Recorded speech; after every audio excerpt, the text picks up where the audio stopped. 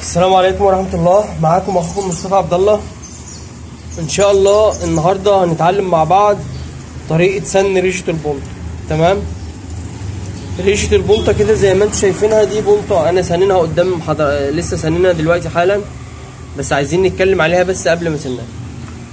أنا بس مش عارف التصوير كده واضح ليكم ولا لأ بس إن شاء الله يكون واضح يعني. تمام؟ ريشة البنطة بس قبل ما نفكر نسنها بس عايز اهي نفكر مع بعض شوية. هو البنطة بتاكل من أنه اتجاه طبعا البنطة بتاكل من الاتجاه ده تمام؟ بتاكل من الجنب ده.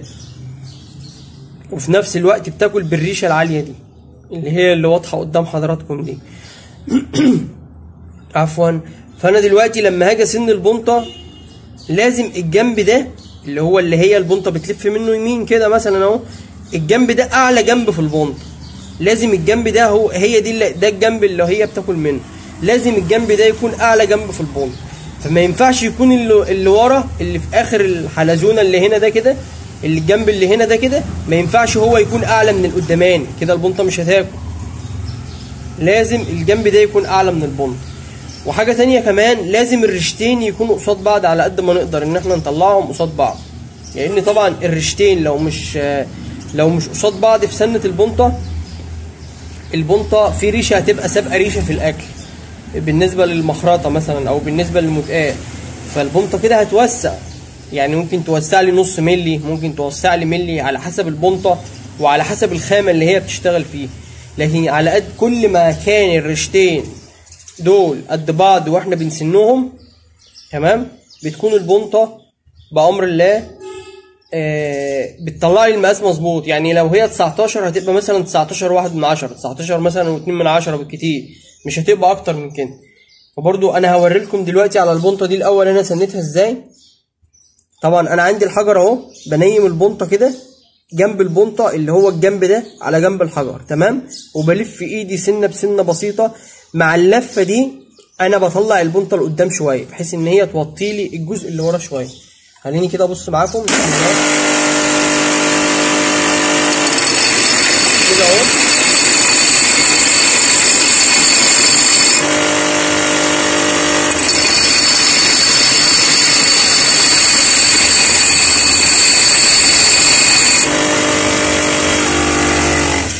تمام؟ نراجع تاني الحركة اللي أنا عملتها دي. أنا هنا خدمت البنطه على قورة الحجر. تمام بالظبط كده.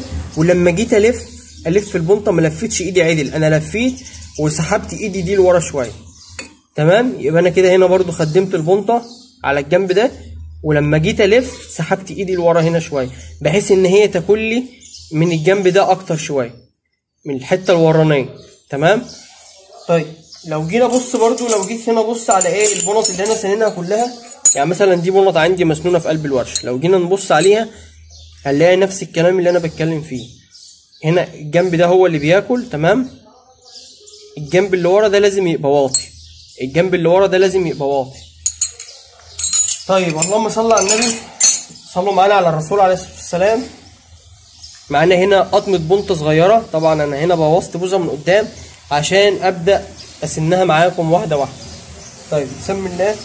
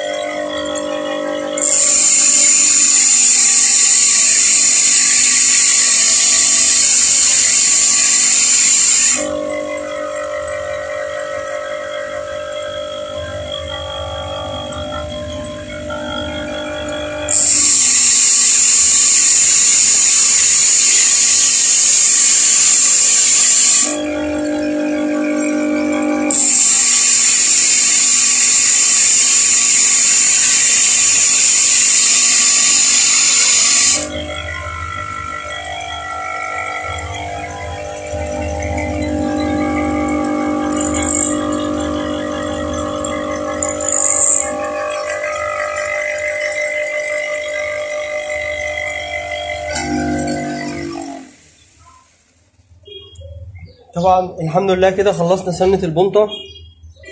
لو جينا نبص أنا بس سايب لكم الفيديو بسيب لكم الفيديو طويل بحيث إن أنت تتابع حركة إيدي وأنا شغال. أنا كنت بريح البنطة الأول كده بخلي الجنب ده مريح على الحجر هنا. تمام؟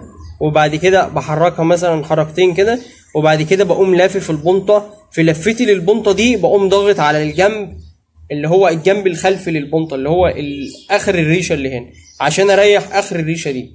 لو جينا نبص كده هنا للبنطة تمام؟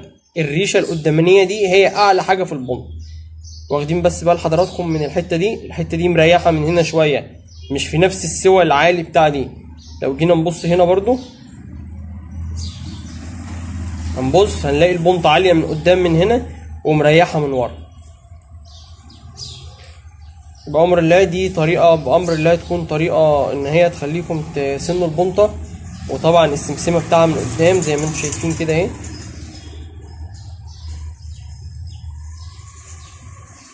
تمام؟ شكرا لحضراتكم.